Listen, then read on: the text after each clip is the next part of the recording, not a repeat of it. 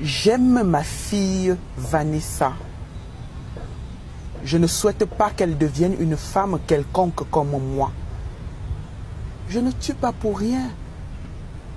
Le virus de tuer est dans n'importe qui. Je croyais avant que je pouvais tout supporter. Tout. Maintenant, je sais qu'il y a des choses qu'on ne supporte pas. Des choses qui réveillent en vous le virus de tuer. Comment un homme peut aimer sa fille? Un violeur n'est pas humain. Vous voulez le défendre? Mettez vos arguments sur la table du débat. Celui qui croit que je n'ai pas raison est un violeur. J'ai bien averti le prêtre avant de le tuer. Il m'a parlé de l'enfer. Quel enfer? Je préfère l'enfer à la survie de cet homme qui a violé ma fille. Un toucheur de fesses. Ça commence comme ça. Il touche d'abord les fesses pour voir si tu réagis. Et même quand tu réagis, il attend un moment et il touche encore. Quand j'ai eu 13 ans, mon père a commencé à me toucher les fesses. Comme une blague. Après, il a dit que c'est lui qui va me mettre les garnitures pour savoir, pour vérifier si je fais déjà les mauvaises choses. J'ai compris que ma mère n'avait pas le droit de mourir le jour où mon père a mis le doigt ou le droit de la parenté interdit. Mon père a poussé son audace de me toucher les fesses jusqu'au viol pendant des années. J'ai appris à supporter.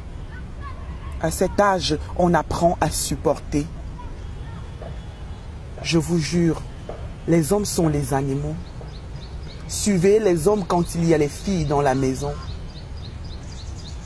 Pour me violer, mon père n'était même pas sous. Il mettait même un lubrifiant. Deux fois de suite, il m'a engrossé. Mon père. Après, il m'a mené chez son complice gynécologue pour l'avortement.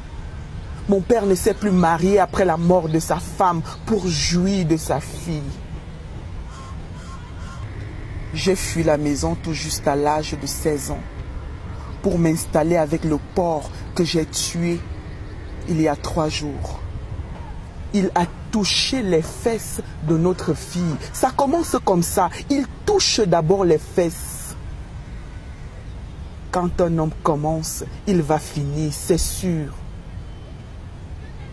Après le départ de la maison de mon père, il a mis le doigt entre les jambes de ma petite sœur.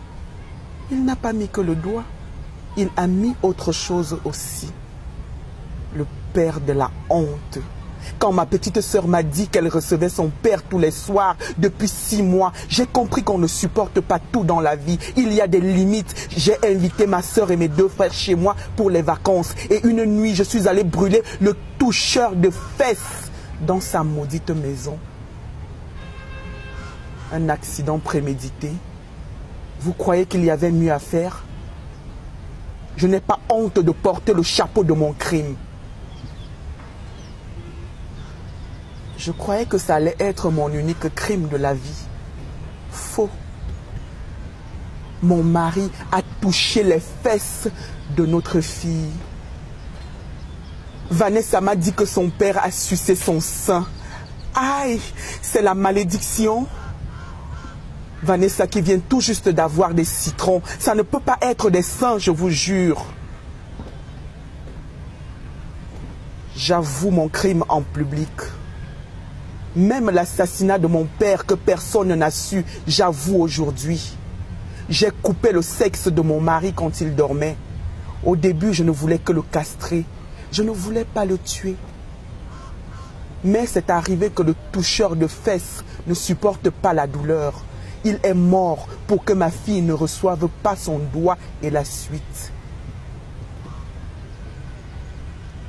Dites à celui qui vous a envoyé que je ne veux pas d'avocat.